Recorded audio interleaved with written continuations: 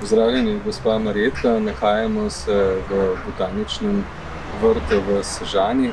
Nam lahko zaupate kaj več o tem srednjem motivu vrta?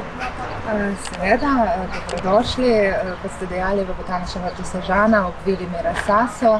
Namreč tudi ta preostali del imena radi poudarjamo, ker vendar govorimo o vrtno-arhitekturni dediščini, torej o nepremični kulturni dediščini. Čeravno se danes vrt ponaša kar s štirimi statusi, in sicer naravne vrednote državnega pomena in pa še naravnega in kulturnega spomenika lokalnega pomena. Nahajamo se v zagotovo enem najlepših, če ne najlepšem delu tega prelepega vrta, grajenega v stilu italijanskih meščanskih vrtov, katerega začetki segajo vse v leto osemnajststo oseminštirideset. Če pogledava v ospredju, se nahaja rastlinjak. Lahko kaj več poveste o njem? Gre za pomembno arhitekturno dediščino v samem vrtu? Tako je. Dejansko rastlinjak, grajen po vzoru šembrunskega rastlinjaka na Dunaju, je bil oblikovan in postavljen leta osemnajststo devetdeset. Postavila ga je gospa Mertot, ki je v bistvu predstavnica druge veje družine Scaramanga, lastnice, tedanje lastnice tega prelepega posestva. Mogoče tudi naj povem o sami družini, da govorimo o družini grškega izvora, živeči v Italiji, ki si je leta osemnajststo oseminštirideset zamislila nakup posestva tukaj v Sežani kot zaledju Trsta. Zgradila vilo Mira Saso, ob njej oblikovala vrt, v katerega je dodala ta rastlinjak. Kot tak je edini v Sloveniji, včasih zelo pomembno funkcijo prezimovanja rastlin. Glede na to, da govorimo o vrtu tujerodne rastlinske zbirke, predvsem rastlin, ki prihajajo iz nekih toplejših krajev, danes pa ima predvsem zgodovinsko, umetniško in pa predstavitveno z vidika tropskih rastlin funkcijo. Poleg drevnine smo v vrtu opazili kar nekaj rastlin.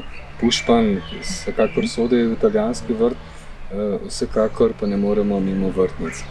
Kakšen je načrt z vrtnicami in kakšen pomen imajo vrtnice v tem vrtu? No, dejansko po zapisih sodeč, je družina Scaramanga v tedanjem času, torej tistih celih sto let, tukaj imela veliko ponovno cvetočih vrtnic popenjavk.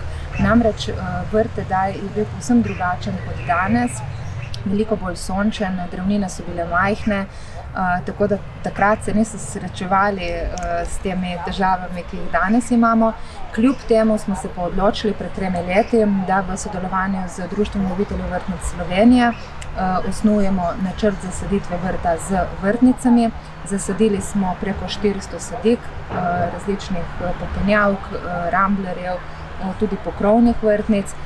In zagotovo nas ta zelo pozitiven odziv s strani občinstva sili v to, da imamo že nove ideje, nove koncepte, ki pa bodo zaenkrat ostali skriti, da bo ob naslednjem prihodu obiskovalcev to nekakšno presenečenje. No, vsekakor je zanimiv tudi moderni del vrta. Lahko nekaj besed na kratko poveste še o tem? Tako. Na hitro naj povem, da vrt se še danes deli nekako na dva glavna dela, torej formalni, geometrijsko strogo oblikovani del vrta, skozi dolgo vrtnično pergolo preidemo v svobodnejši sekundarni del.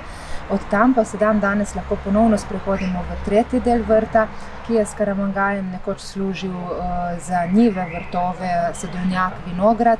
Danes je pa v modernističnem slogu oblikovan del, velik tri tisoč metrov, ki v bistvu zelo lepo ponazarja to razliko v času, torej med nekoč in danes.